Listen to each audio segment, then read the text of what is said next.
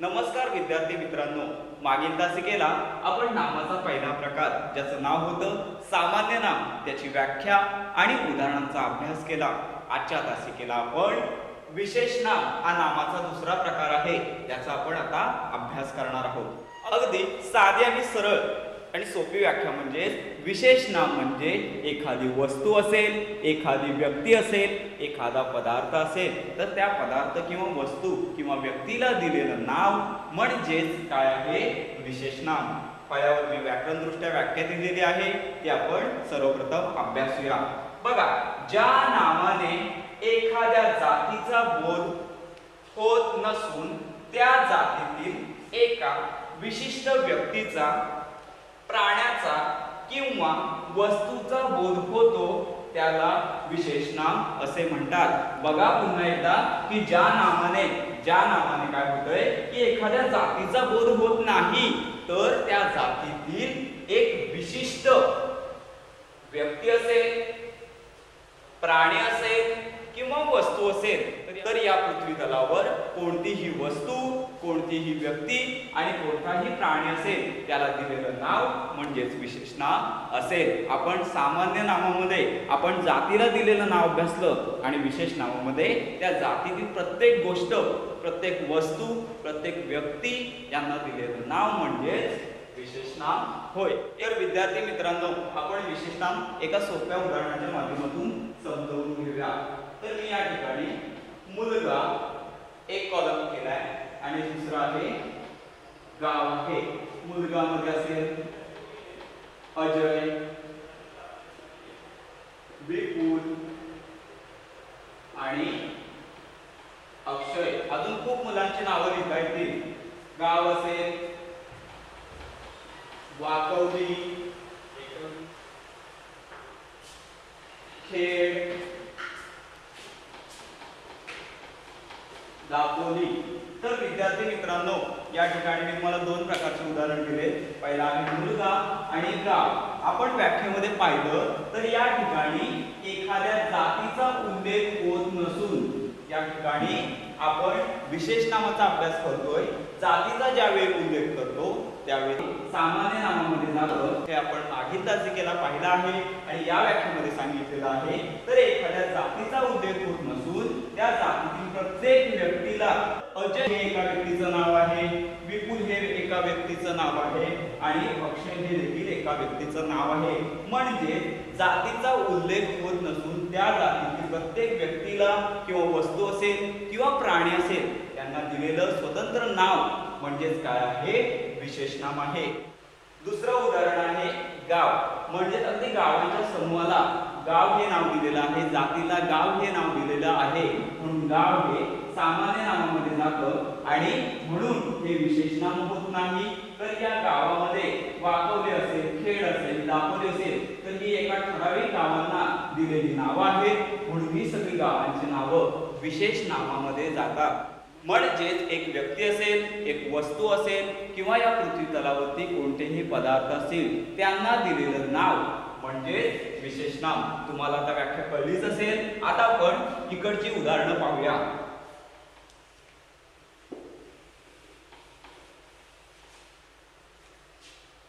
तर विद्यार्थी मित्रांनो आपण इथे उदाहरणाचा अभ्यास करूया बघूया पहिलं उदाहरण आहे गणेश तर गणेश हे एका ठराविक मुलाचं नाव आहे. म्हणून गणेश हे विशेष नामामध्ये गेलं. त्याचप्रमाणे मुंबई हे एका शहराचं नाव आहे. एका विशिष्ट शहराचं नाव आहे. म्हणून मुंबई हे विशेष नामामध्ये गेलं. त्याचप्रमाणे देश खूप आहे. जसे अमेरिका आहे आफ्रिका आहे त्यानंतर चीन आहे त्यानंतर पाकिस्तान आहे तर यासारखे खूप देश आहेत. परंतु त्यामध्ये भारत देश हे एका देशाचं विशिष्ट नाव आहे. म्हणून भारत हे नाव विशेष नामामध्ये गेलं त्याचप्रमाणे खेड तालुका आपल्या रत्नागिरी जिल्ह्यामध्ये खेड असेल दापोली असेल मंडणगड असेल तर यासारखे अनेक तालुके आहेत. परंतु खेड हे एका विशिष्ट तालुक्याचं नाव आहे. म्हणून खेड हे नाव विशेष नामामध्ये गेलं. तर विद्यार्थी मित्रांनो आता यापुढची उदाहरणं आपण पाहूया. याच प्रकारामध्ये तुम्हाला परीक्षेला उदाहरणं येणार आहेत. बघा पहिलं उदाहरण. अजय हुशार मुलगा आहे. तर लाल अक्षरामध्ये इथे मी अजयला लाल अक्षरामध्ये केलंय. कारण का? हुशार. इथे हुशार जो मुलगा आहे. तो अजय आहे. तर अजय एका ठराविक मुलाचं या ठिकाणी वर्णन आलेलं आहे. म्हणून अजय हे नाम कशामध्ये गेलं? विशेष नामामध्ये गेलं. त्याचप्रमाणे सातपुडा उंच पर्वत आहे. तर विद्यार्थी मित्रांनो आपण पर्वत हे नाम कशामध्ये जातं तुम्हाला माहिती आहे की पर्वत म्हणजे सामान्य नाम. पर्वतामध्ये अनेक पर्वत आहेत. सर सह्याद्री असेल त्यानंतर सातपुडा असेल हिमालय असेल परंतु या वाक्यामध्ये उंच पर्वत सातपुडा आहे. तर एका ठराविक एका विशिष्ट सातपुडा पर्वताचं वर्णन या ठिकाणी आलेलं आहे. तर उंच पर्वत म्हणजेच कुठलं पर्वत आहे? सातपुडा. म्हणून सातपुडा हे पर्वताचं नाव विशेष नामामध्ये जातं. त्याचप्रमाणे मुंबई हे प्रसिद्ध शहर आहे. तर विद्यार्थी मित्रांनो मुंबई असेल नागपूर असेल औरंगाबाद असेल तर असे अनेक शहरं आहेत. परंतु मुंबई हे एका विशिष्ट एका ठराविक शहराला दिलेलं नाव आहे. म्हणून मुंबई हे नाव विशेष नामामध्ये जातं.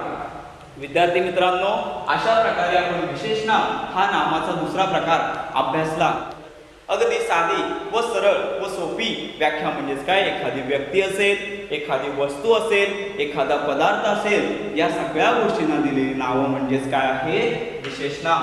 विद्यार्थी मित्रांनो तर अशा तऱ्हेने विशेष नाम समजायला आणि ओळखायला देखील खूप सोपं आहे.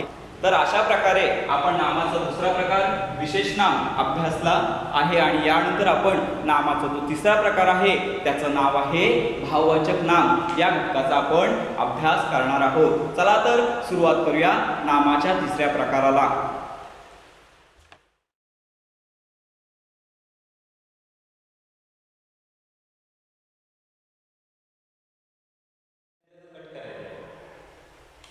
विद्यार्थी मित्रांनो मागील वेळेस आपण नामाचा दुसरा प्रकार त्याचं नाव होतं विशेष नाम. या घटकाचा अगदी सखोल अभ्यास केला.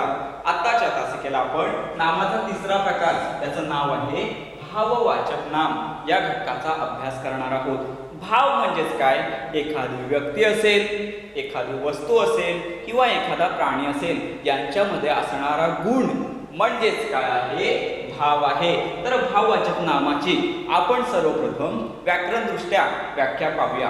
बघा ज्या नामाने वस्तूमधील किंवा प्राण्यामधील गुण धर्म किंवा भाव यांचा बोध होतो त्याला भाववाचक नाम असे म्हणतात. म्हणजे ज्या नामाने वस्तूमधील किंवा प्राण्यामधील म्हणजेच ज्या नामाने या पृथ्वी तलावरील कोणतीही वस्तू असेल किंवा कोणताही प्राणी असेल त्यामध्ये मनुष्य प्राणी असेल किंवा इतर प्राणी असेल तर त्यांच्यामधील गुण त्यांच्यामधील गुण धर्म किंवा भाव भाव म्हणजे भावना किंवा गुण यांचा जर बोध होत असेल यांचा जर बोध होत असेल किंवा यांचा अर्थ होत असेल तर त्याला भाववाचक नाम असे म्हणतात. बघा पुन्हा एकदा की ज्या नामाने वस्तू किंवा प्राणी मी सांगितलं काय? की या पृथ्वी तलावर असणारी कोणतीही वस्तू किंवा कोणताही प्राणी त्यांच्यामध्ये असणारे गुण धर्म किंवा भाव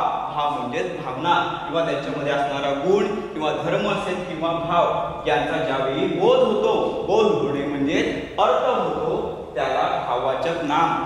असे म्हणतात. अगदी साधी सरळ आणि सोपी व्याख्या. एखादी व्यक्ती असेल एखादा प्राणी असेल एखादी वस्तू असेल त्यांच्या अंगी असणारा गुण म्हणजेच काय आहे? भाववाचक नाम. म्हणजे ज्या ठिकाणी त्यांच्या अंगी असणारा गुण ज्यावेळी नामामध्ये सांगितला जातो त्यावेळी जे नाम होतं त्याला भाववाचक नाम असे म्हणतात. उदाहरणार्थ मोठेपणा.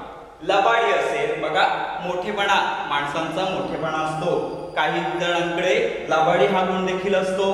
माणसांमध्ये माणुसकी देखील असते आणि चांगुलपणा देखील असतो. हे गुण आपण माणूस असेल व्यक्ती असेल किंवा वस्तूमध्ये यांच्यासारखे गुण आपल्याला पाहायला मिळतात. म्हणून ह्या सर्व गुणांना जी नावं दिलेली आहेत ती सगळी नावं भाववाचक नाम या गटामध्ये जातात. म्हणजे पृथ्वी तलावर असणारी व्यक्ती तिच्यामध्ये असणारे गुण प्राणी असतील त्यांचे गुण किंवा त्यांचे स्वभाव किंवा वस्तू असेल त्या वस्तूचे गुण यांना जी नावं दिलेली आहे त्यांना भाववाचक नाम असे म्हणतात. जसे आपण बघितले व्यक्तीचा मोठेपणा असेल प्राण्यांमध्ये किंवा मनुष्यामध्ये लबाडी हा स्वभाव असेल माणुसकी असेल चांगलपणा असेल यासारखे. आता आपण पुढील उदाहरणं पाहूया. भाववाचक नाम ओळखायला खूप सोपं. पुढील उदाहरणामध्ये लाल अक्षरामध्ये मी जी नावं दिलेली आहेत त्यांचं विद्यार्थ्यांनी काळजीपूर्वक निरीक्षण करायचं आहे बघा गणेशचा चांगलपणा सर्वांना माहीत आहे. या वाक्यामध्ये की एखाद्या व्यक्तीचं नाव असेल किंवा एखाद्या विशिष्ट वस्तूचं नाव असेल तर ते विशेष नावामध्ये जातं. म्हणून ते गणेश हे नाव एका व्यक्तीचं आहे एका मुलाचं आहे. म्हणून गणेश हे विशेष नाम झालं. तर मी तुम्हाला सांगितलंय तर या ठिकाणी लाल अक्षरामध्ये दिलेल्या शब्दांचं काळजीपूर्वक निरीक्षण करायचं आहे बघा गणेशचा चांगलपणा सर्वांना माहीत आहे. तर इथे लाल अक्षरामध्ये चांगलपणा हे नाम दिलंय तर हे चांगलपणा कोणाचा गुण दर्शवत आहे? तर गणेश. गणेशमध्ये गुण आहे चांगलपणा. म्हणून या गुणाला या भावाला दिलेलं नाव हे आपण भावाचक नामाच्या गटामध्ये नेतो. म्हणून चांगलपणा हे नाव भावाचक नाम या गटामध्ये जातं. त्याचप्रमाणे सातपुड्याचे सौंदर्य आम्ही जाणतो. तर या वाक्यामध्ये सौंदर्य हा शब्द सौंदर्य हे नाम सातपुड्याचे गुण दाखवतात किंवा सातपुड्याचा गुण दाखवतो म्हणून सौंदर्य हे नाम भावाचक नामामध्ये जातं. तर सौंदर्य कशाचे आहे?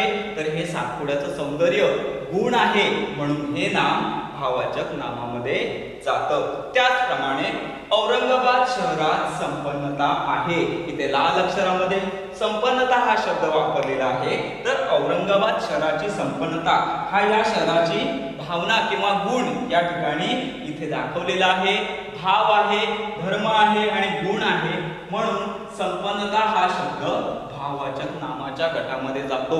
त्याचप्रमाणे लबाडी असेल त्यानंतर माणुसकी असेल तर यासारखे सगळे जे गुण आहेत त्या गुणांना नावं जी आपण देतो जसे की चांगुलपणा सौंदर्य आणि संपन्नता या संपूर्ण नामांच्या गटाला भाववाचक नाम असे म्हणतात. भाव म्हणजे पुन्हा एकदा सांगतो एखादी व्यक्ती असेल एखादी वस्तू असेल त्यांच्यामध्ये असणारे जे गुण आहेत त्या गुणांना दिलेली नावं आहेत त्यांना भाववाचक नाम असे म्हणतात. तर अशा प्रकारे विद्यार्थी मित्रांनो आपण नामाचे तीन प्रकार अगदी काळजीपूर्वक अभ्यासले. त्यामध्ये पहिला प्रकार आहे सामान्य नाम. जे जातीला नाव दिलेलं असतं ते. दुसरं आहे विशेष नाम जे जातीतील एका विशिष्ट व्यक्ती वस्तू किंवा प्राणी यांना दिलेलं नाव म्हणजेच विशेष नाम. आणि तिसरं म्हणजेच भाववाचक नाम म्हणजेच व्यक्ती वस्तू किंवा पदार्थ यांच्यामध्ये असणारा जो गुण आहे भाव आहे धर्म आहे त्यांना जी नावं देतात त्यांना भाववाचक नाम असे म्हणतात. तुम्हाला अगदी छानपैकी हा घटक समजलेला असेल. तरी आपण पुन्हा एकदा एका उदाहरणाच्या माध्यमातून तिन्ही प्रकार समजून घेणार आहोत. तर विद्यार्थी मित्रांनो जाता जाता आपण तिन्ही प्रकारांचा अगदी थोडक्यात आढावा घेऊया. ज्यांना अजून कळण्यात थोडं कठीण जात असेल त्यांना या तक्त्यावरतून अगदी सहज या नामाचे तिन्ही प्रकार समजतील. बघा इथे मी तीन तक्ते केलेले आहेत. त्यामध्ये पहिला भाग आहे सामान्य नाम. विशेष नाम आणि तिसरा आहे भाववाचक नाम. सामान्य नाव म्हणजेच काय? एखाद्या जातीला किंवा एखाद्या गटांच्या समूहाला जे नाव दिलेलं आहे त्याला सामान्य नाम असे म्हणतात. असं आपण अभ्यासलं. विशेष नाव म्हणजे या गटातील एक विशिष्ट व्यक्ती एक विशिष्ट वस्तू किंवा पदार्थ याला दिलेलं नाव म्हणजे विशेष नाम. तर विद्यार्थी मित्रांनो या विशेष नामामधील म्हणजे एक वस्तू असेल एखादा पदार्थ असेल एखादा प्राणी असेल तर त्याच्यामधील भाव धर्म आणि गुण दाखवणाऱ्या शब्दांना जी नामं दिलेली असतात जे नाव दिलेलं असतं ते भावाचक नाम या तिसऱ्या प्रकारामध्ये जातं. बघा या मुलगा या गटामध्ये पृथ्वी तलावरची सगळी मुलं येतात म्हणून त्या समूहाला मुलगा हे नाव दिलेलं आहे. म्हणून मुलगा सामान्य नामामध्ये गेलं तर अजय हा ह्या गटातील एक विशिष्ट ठराविकच मुलगा आहे किंवा एका मुलाचं नाव अजय आहे म्हणून या ठराविक आणि विशिष्ट नामाला विशेष नाम असे म्हणतात. तर याच नावाचा किंवा या अजयचा प्रामाणिकपणा हा त्या अजयमध्ये असणारा गुण आहे भाव आहे म्हणून प्रामाणिकपणा हे एका गुणाला दिलेलं नाव आहे. म्हणून प्रामाणिकपणा हे भाववाचक नामामध्ये जातं. बघा दुसऱ्या उदाहरणाच्या माध्यमातून पुन्हा एकदा तिन्ही प्रकार समजून घेऊया. पर्वत खूप पर्वत आहेत. मी तुम्हाला सांगितलं होतं सह्याद्री असेल सातपुडा असेल हिमालय असेल यासारखे अनेक पर्वत आहेत. तर त्या पर्वतांच्या गटाला त्या जातीला दिलेलं नाव म्हणजे पर्वत तर जातीला दिलेलं नाव हे सामान्य नामामध्ये येतं. जशी मुलांची नावं असतील तशीच पर्वत हा जो गट आहे तर त्याला सामान्य नाम असे म्हणतात. तर या पर्वतांमध्ये हिमालय हा एक ठराविक एक विशिष्ट पर्वत आहे. म्हणून हिमालय हे नाव विशेष नामामध्ये जातं. बघा विद्यार्थी मित्रांनो या पर्वतामधील हिमालय हे एका ठराविक पर्वताचं नाव आहे. म्हणून हिमालय हे नाव विशेष नामामध्ये जातं. तर मी या ठिकाणी भव्यता हा हिमालय पर्वताचा गुण दाखवणारा शब्द या ठिकाणी वापरलेला आहे. म्हणून भव्यता हे हिमालयाचं गुण दाखवतं. म्हणून भव्यता हे नाम कशामध्ये जातं? भाववाचक नामामध्ये जातं. कारण का हिमालयाचं गुण भाव आणि धर्म दाखवणाऱ्या शब्दांना भाववाचक नामामध्ये टाकलेलं आहे. तसंच अजून एक उदाहरण बघा. मुलगी या पृथ्वी तलावरती अनेक मुली असतील. त्या मुलींच्या जातीला मुलगी हे नाव दिलेलं आहे. म्हणून मुलगी हा शब्द सामान्य नामामध्ये जातो तर मुलींमध्ये अंजली ही एकमेव किंवा ठराविक मुलगी आहे एक विशिष्ट मुलगी आहे म्हणून तिला दिलेलं नाव अंजली हे विशेष नामामध्ये जातं. तर अंजलीचा सुंदरता हा एक गुण आहे. तर अंजलीची सुंदरता तर सुंदरता हा त्या अंजलीमधील गुण आहे भाव आहे. म्हणून त्या गुणाला त्या भावाला दिलेलं सुंदरता हे नाम भावाचक नामामध्ये जातं. तर अशा प्रकारे आपण तीन उदाहरणं पाहिली. चौथं उदाहरण बघूया. गाय. तर गायीची नावं अनेक आहेत. वेगवेगळे प्रकार आहेत. परंतु संपूर्ण जातीला गाय हे नाव दिलेलं आहे. म्हणून गाय हे सामान्य नाम आहे. तर आपण प्राण्यांची देखील नावं ठेवतो. तर आपण प्राण्यांची देखील नावं ठेवतो. त्याचप्रमाणे गायीला दिलेलं तांबू हे नाव एका ठराविक एका विशिष्ट गायीचं नाव आहे. म्हणून तांबू हे नाव विशेष नामामध्ये गेलं. आणि याच गायीचं साधेपणा हा काय आहे? तांबू या गायीमधील गुण आहे. भाव आहे. म्हणून त्या गुणाला आणि भावाला दिलेलं साधेपणा जे नाम आहे ते भावाचक नामामध्ये गेलं. बघा सामान्य नाम म्हणजे जातीला दिलेलं नाव विशेष नाम म्हणजे ठराविक व्यक्ती वस्तू आणि प्राणी असेल त्यांना दिलेलं नाव आणि या व्यक्ती वस्तू आणि प्राण्यांमधील गुणाला भावाला जी नावं देतात त्यांना भाववाचक नाम असे म्हणतात. तर अशा प्रकारे आपण नामाचे तिन्ही प्रकार अगदी सखोल दृष्टीने अभ्यासले